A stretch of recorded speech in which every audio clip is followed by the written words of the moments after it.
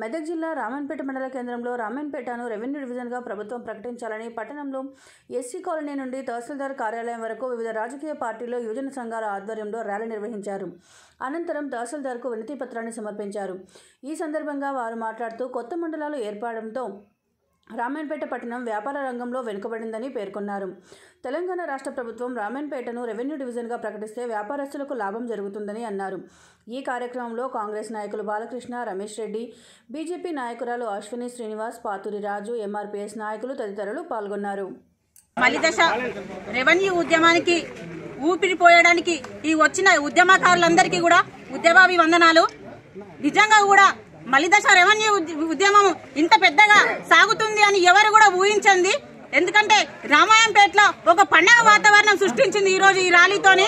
రామాయంపేటలో ఈ రోజున్న వ్యాపారస్తులు బిజినెస్ మ్యాన్లు రియల్ ఎస్టేటర్లు వలస పడుతున్నారు రామాయంపేట నుంచి. ఒక చిన్న మండలంగా ఏర్పడింది. రామాయంపేటలో ఉన్న ఊర్లని మండలాలుగా చేసే వరకల్లా ఈ రోజు రామాయణపేట ఒక చిన్న మండలంగా ఏర్పడింది కాబట్టి రామాయంపేటలో ఉన్న ప్రజలకు వ్యాపారస్తులకు బిజినెస్ మ్యాన్లకి రియల్- రియల్ అన్ని రకాలుగా ఇబ్బందులు ఎదుర్కొంటున్నారు కాబట్టి రామాయంపేటని వెంటనే రెవెన్యూ డివిజన్ ప్రకటించాలి. ఎందుకంటే ఒక నేను కూడా ఒక వ్యాపారం చేసిందని కాబట్టి నేను కూడా ఈ రోజు నాకు ఏమి లేక ఒక వలస స్థాయిలో ఉన్నా కాబట్టి అదేదో వలస పోకుండా నా ఊర్లో నేనే రెవెన్యూ డివిజన్ సాధించుకొని నా ఊర్లో నేను ఏ ఊర్లో అయితే అడుగు పెట్టినో అక్కనే నేను మళ్ళా వ్యాపారం చేసి ఒక స్థాయికి రావాలని కోరుకుంటున్నాము.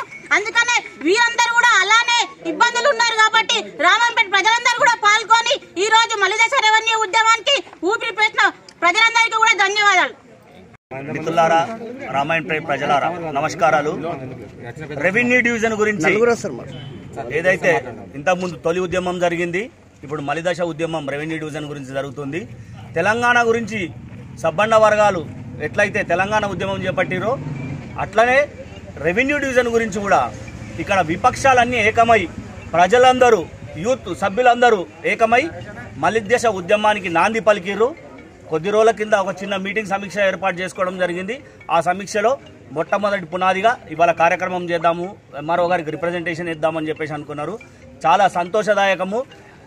ఇక్కడ చిన్న చిన్న వ్యాపారస్తులు కానీ పెద్ద వ్యాపారస్తులు కానీ మిగతా ఈ రామాయంపేటలో జీవించే వాళ్ళు ఇంతకుముందు అసెంబ్లీ కాన్స్టిట్యున్సీ ఉండే అసెంబ్లీ కాన్స్టిట్యున్సీ పోయింది.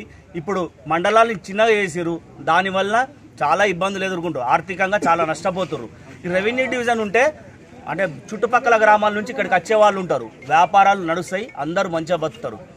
అబద్ధాల హరీష్ రావు గారు ఇంతకుముందు రెవెన్యూ డివిజన్ వెంటనే ఫస్ట్ రెవెన్యూ డివిజన్ ప్రకటిస్తే తెలంగాణలో రామాయంపేటే ఉంటుందని చెప్పేసి అన్నాడు. అబద్ధాల హరీష్ రావు గారు ఇది ఒకసారి గుర్తు చేసుకోవాల్సిన అవసరం ఉంది.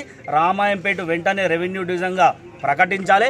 ఇక్కడ ఉన్న ప్రజలందరికీ ఆమోదయోగ్యంగా ఉంటుంది. విపక్షాలు కానీ కుల సంఘాలు కానీ యూత్ కానీ ప్రతి ఒక్కరు కోరుకునేది రామాయంపేట రెవెన్యూ డివిజన్ కావాలని కోరుకుంటున్నారు. ఈ మలిదూష ఉద్యమాన్ని ఇంకా ఉధృతం చేసి రెవెన్యూ డివిజన్ ప్రకటించే వరకు కూడా అందరం కలిసి సాధిద్దాం అనుకుంటున్నా.